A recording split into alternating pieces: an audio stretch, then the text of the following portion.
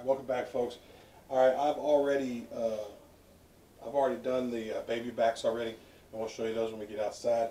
But I got my St. Louis uh, cut out of my. Uh, there was two of those uh, compact ribs in there, and or spare ribs. I'm sorry, pork spare ribs.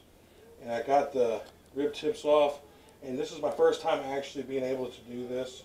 I should do it right. Before I, I didn't take enough off up here.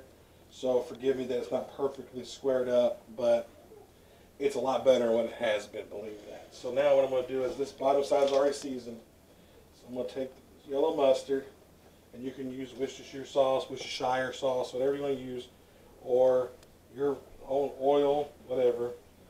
I'm just using some good old fashioned yellow mustard. No, you can't taste the mustard. And on these, we're going to put on GQ Barbecues Championship D Rub. All right, we're going to put a nice, generous, liberal coating here. Rub on these.